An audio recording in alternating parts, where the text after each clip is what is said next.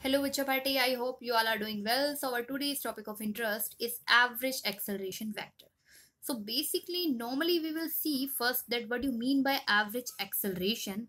After that we will learn what is average acceleration vector. So let's read out the statement. The average acceleration vector is defined as a rate at which the velocity changes it is in the direction of change in velocity delta V that means कि जो आपका average acceleration vector है, वो actually होता क्या है? Rate of change of velocity ही होता है। और जो डायरेक्शन चेंज ऑफ़ वेलोसिटी की होती है, वही डायरेक्शन एवरेज एक्सेलरेशन वेक्टर की भी होती है। हाँ जी बच्चों party so average acceleration vector के कॉन्सेप्ट को ब्रीफली अंडरस्टूड करने के लिए हम क्या ले लेते हैं कि हम सपोज़ करते हैं कोई पार्टिकल मूव कर रहा है P to Q in X Y plane as shown below in figure तो अभी शोन नहीं है, हम शो करेंगे। लेट सी कोई पार्टिकल है, कुछ ऐसा पाथ ले रहा है वो, ठीक है? जिसमें हम दो पॉइंट्स लोकेट कर लेते हैं इसी के ऊपर P and Q so here हम सपोज़ कर सकते हैं कि यहाँ पे कोई पॉइंट क्या है पी है? और यहाँ पे कोई पॉइंट क्या है आपका? क्यू पॉइंट है। तो ये पार्टिकल पी से क्यू मूव कर रहा है एक्स वाई प्लेन में।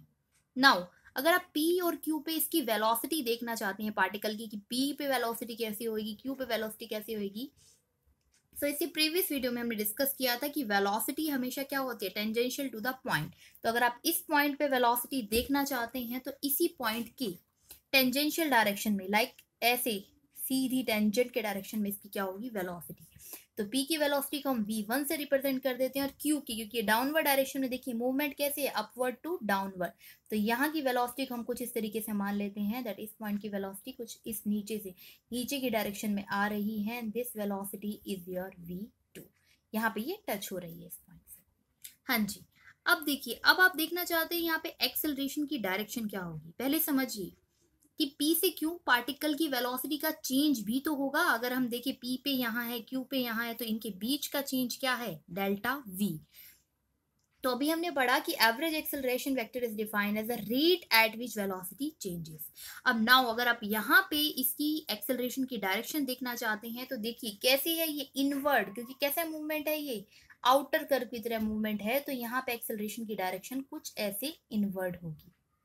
नाउ ये जो रिप्रेजेंट है this is a representation of vector representation for average acceleration between P and Q but अगर डायग्रामेटिक रिप्रेजेंटेशन के बारे में बात करूँ, ताकि आप इसको कंक्लूड कर पाए कि क्यों इस एक्सेलरेशन की डायरेक्शन ये ही थी। हाँ जी अच्छा पार्टी तो इसी को समझने के लिए देखिए, इसी डायग्राम को हम किस तरीके से रिप्रेजेंट कर सकते हैं। तो हमें यहाँ पे दिख रहा है कि V1 कुछ इस तरीके से इंक्लाइन है अपवर्ड डायरेक्शन में। तो यहाँ पे हमने एक वेलोसिटी ले ली, जो कि यही सेम रिप्रेजेंट कर रही है V1 अब V2 अगर आप देखते हैं तो V2 कुछ इस तरीके से तो हम इसको सपोज़ करने के लिए मान रहे हैं कि आपका V2 वेक्टर कुछ इस तरीके से क्या हो रहा है? इंक्लाइंड हो रहा है।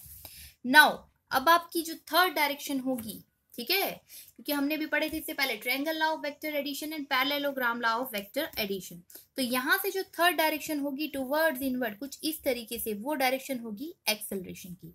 So this is the diagrammatic vector representation for obtaining delta V अब सपोज़ कर लीजिए कि P पॉइंट पे वेलोसिटी V1 है, Q पॉइंट पे वेलोसिटी क्या है आपकी V2। So basically average acceleration is a change in velocity of particle from V1 one to V in time interval delta T as a particle move from the point P to Q। Let see यहाँ पे हमने यही बोला है particle move कर रहा है P से क्यू पे P पे इसकी वी वन है एंड क्यू पे इसकी वी टू है तो इन दोनों के एवरेज को हम क्या बोलेंगे ठीक है? तो इसके दोनों के एवरेज के बारे में ही बात कर रहे हैं कि अगर वेलोसिटी v1 एंड v2 है तो एवरेज एक्सेलरेशन को कुछ इस फॉर्मुलेशन से हम कैलकुलेट कर सकते हैं। The average acceleration is a V अब इस रिप्रेजेंट कर रहे हैं हम ए एवरेज से which is change in velocity final velocity is v2 and initial velocity is v1 which is divided by the time interval delta t, so which is equal to delta v by delta t so average acceleration is a vector quantity having direction same as that of delta v तो average acceleration एक vector quantity है, जिसकी direction same वही होगी, जो कि delta we की direction होगी। So this is all about average acceleration vector